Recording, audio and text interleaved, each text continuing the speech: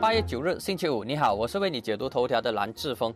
今天马来报的头条跟一个州属有关，呵呵，就是全马最先进的州属雪兰莪。报章关注种族跟宗教新闻事件这两个事呢，是互相有关联的。事情的由来是这么样的：雪州政府有意修改十八岁以下改教法令，让父母的其中一方可以单方面为孩子改教，而不需要父母双方的同意。这是一种倒退的做法。据了解，这项法令的修改是由雪兰莪伊斯兰理事会马伊斯推动，同时获得王宫的力挺，形成来自王宫的意志。那么，是王宫有意要推行这项修改吗？实际的情况可能只有当事者最清楚。那么我就根据零碎和片段的新闻，尝试拼凑一个图像，综合各报的报道得出来的观点呢，就是这一次的改教法案有王室介入的痕迹。那么关键在于它的介入度有多少，有多深。那么，非穆斯林领袖能否与开明中庸的穆斯林领袖站在一起，阻止这一次的倒退呢？这件事情演变成要推倒两个人。第一呢，就是行动党的雪州议会议长黄瑞林，他因为巧妙的以行政方式阻挡了这个法案，引起了穆斯林议员的不满。那么，第二名尝试要被拉下来的呢，就是雪州大臣公正党的阿明鲁丁。这跟蓝眼内部斗争、阿兹敏派系和另外派的斗争是有关的。那么，从改教法令延伸出多个议题，可以从多方面来讨论，比如政党的内斗、改教的争议、王室的政治、君主立宪、伊斯兰权限的扩大，以及开明和中庸倒退等等。不过，今天呢，我就把焦点放在关键词上，就是政治宗教。五图上的头条是阿米鲁丁德尔斯拉曼，阿米鲁丁安全了。这名之前传出要被毕公拉下台的大臣，现在应该是可以松一口气过关了。因为雪州西盟四个成员党的主席昨天发表联合声明，支持阿米鲁丁的领导，他可以喘一口气了。据了解，雪州公正党内亲安华派系的议员有意推举伊族州议员伊德斯阿曼来取代阿兹敏的爱将阿明鲁丁，而伊德斯阿曼呢，据了解也获得行动党议员的支持。那么，如果蓝眼分裂成支持阿明鲁丁和支持伊德斯阿曼两派，而火箭呢又支持伊德斯阿曼的话，那么阿明鲁丁他则必须要争取更多议员的支持，才能够坐稳。他大臣的位置，他就要争取土团党还有诚信党的支持。如果这种情况发生的话，他必然会撕裂雪州西盟。如果雪州西盟因为这个事情，因为内部的斗争而把大臣给换掉的话，那么这种做法真的是太令人失望了。因为他们的斗争只为了这张遗址，而不是为了全民而服务。那么来届大选呢，这些政客就可以把他们给换掉。因为他们并不是为了服务人民，而是为了自己的权利和自己的遗址。Sina Harian Empat Exco menghadap Sultan Selangor，四名行政议员觐见雪州苏丹。这四人呢都是非穆斯林的行政议员。据了解，觐见的目的呢与改教法令有关。他们讨论重大还有严肃的课题，但更重要的是，讨论出来的结果是什么？是成果。就是正面，还有好事情，还是结果就是中性的，不好也不坏，或者是负面的有坏消息的后果，目前不得而知，需要进一步的挖掘。那么我就期待是成果，而不是后果。英文报 Star，他关注的是脚鱼书法事件。他说：“Teacher to decide，由老师决定。”早于书法事件争议了超过两个星期，昨天终于有了明确的答案，就是他没有办法满足各方的需求。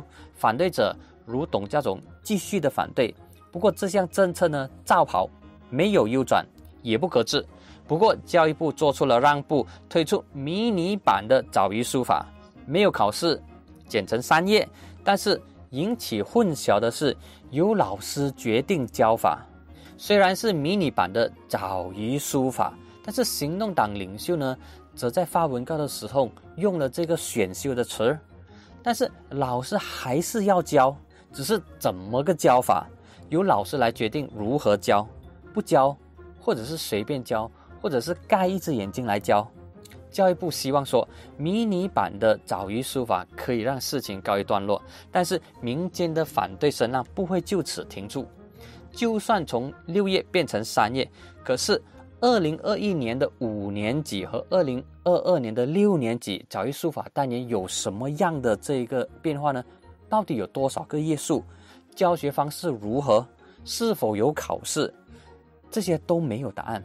难道我们每一年都要担心、都要争议吗？比如说，今年担心明年四年级的内容，明年呢则担忧后年五年级的内容，那么来到后年则担心大后年六年级的详情，能不能够一劳永逸的解决这个问题呢？这是华师希望看到的一个正面的发展方向，但目前为止还等不到。New six time search for Nora hopeful sign。寻找 Nora 的工作看到了曙光，它是一个问号。上个星期天，十五岁爱尔兰少女 Nora 在森美兰度假村失踪的消息引起了全国关注，而截至昨天，搜寻工作已经进入了第五天。那么，警方发现相信是 Nora 的脚印，让搜寻队伍燃起了希望。不过，警方无法确定。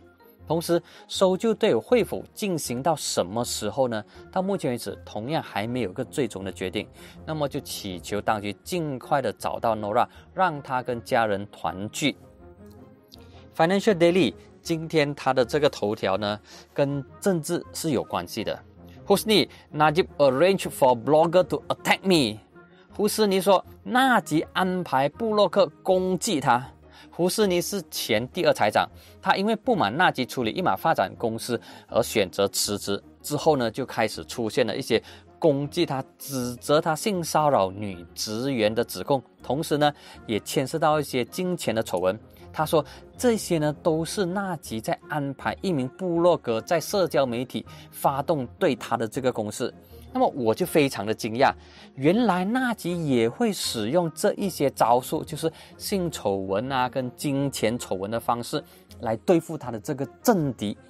但是胡斯尼不是他的政敌，是他的队友，是他内阁的成员，是党内的人士。那么看起来，在那个时候，纳吉真的感受到恐惧，感受到威胁，认为胡斯尼会威胁到他的首相地位。跟他的首相位置，所以就使用了性还有金钱的丑闻来攻击胡斯尼。那么，如果胡斯尼说法正确的话，那么纳吉就有必要解释到底是否有这回事。